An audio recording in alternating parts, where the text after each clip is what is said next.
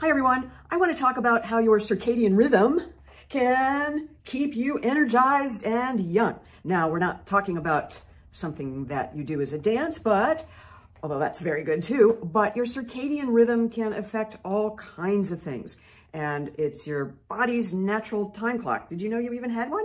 Yep, it's in all of us. And when it's out of whack, which is caused by staying up too late, partying too hard, not that any of us still do that anymore, or eating late night snacks, staying on the computer, all kinds of stuff, it can affect your circadian rhythm and just kind of set your brain all out of whack and speed you up for premature aging. So if you are trying to avoid looking too old before your time, this is one thing you can really, really work on and it makes a difference, not only in how you look, but how you feel.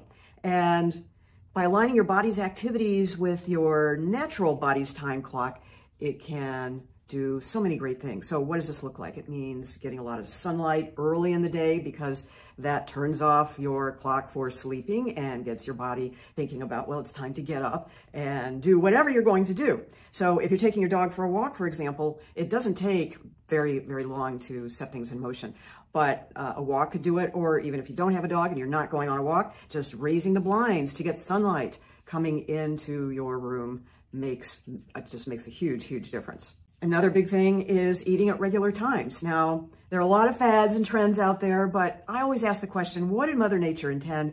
What did our ancestors really do? And they had this thing called hunger pangs that would let them know when they were hungry. And so as humans, we do generally tend to feel those hunger pangs if we are still in touch with them, which a lot of us are not because we're, we have all this food available to us anytime. So some of us will just be snacking throughout the day. But if you let your body go through natural cycles like hunger, generally about three times a day, you will tune into your body's signals of hunger. So there's a reason why breakfast is called breakfast, break fast. And it is all about your body recovering from being asleep overnight and not eating maybe as long as 12 to even 18 hours. Intermittent fasting is a trend right now, and some people really can't go very long, as long as some of these trends would have you believe is, is correct, um, without eating, or they get what's called hangry, a combination of hungry and angry. And our blood sugar drops, and our bodies just, some of us do not like going more than eight or 12 hours without eating. So being able to tune into your body's natural signals is just so important for getting your circadian rhythm back in sync.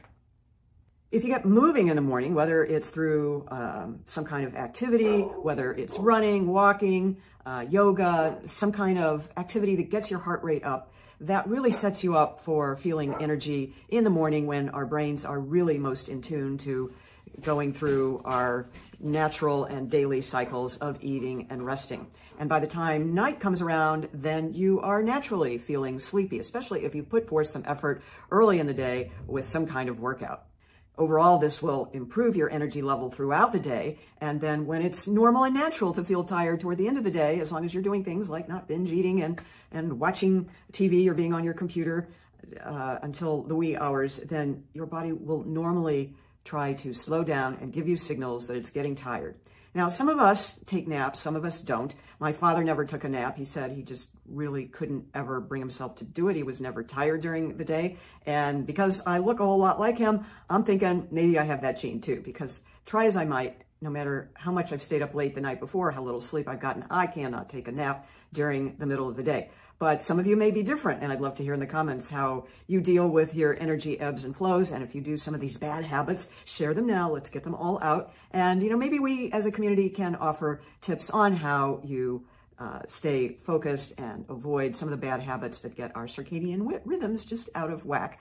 It's really uh, I would say it's not a hard thing to do in terms of getting your rhythm out of whack, but it's also not a hard thing to jump back on the track and get things in alignment with however uh, is right for you.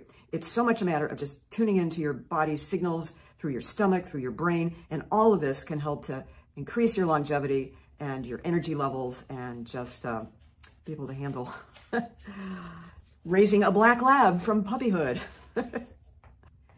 And part of this keeping your circadian rhythm in alignment is all about keeping your brain healthy as well. Because if you are getting enough sleep, if you are getting enough of the right kinds of foods at the right kind, at the right time of day, then you're going to find yourself feeling happier. And all of this, of course, contributes to good brain health and avoiding, hopefully, Alzheimer's. Lots of studies out there showing that activity, in particular aerobic activity, keep the Alzheimer's of aging that we sometimes uh, attribute as being normal, but they really aren't, not in all cultures of the world. But there's so much that you can do to stay on track and to avoid some of these diseases that we think are a normal part of aging. They certainly don't have to be.